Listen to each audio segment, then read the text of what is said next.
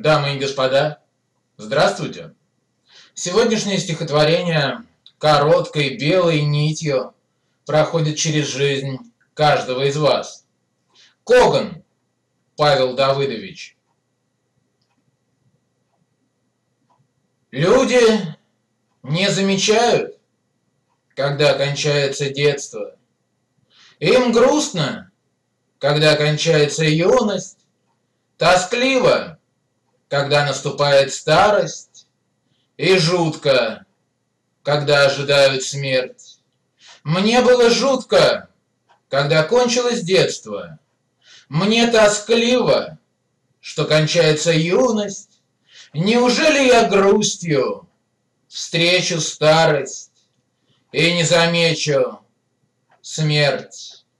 Всем спасибо.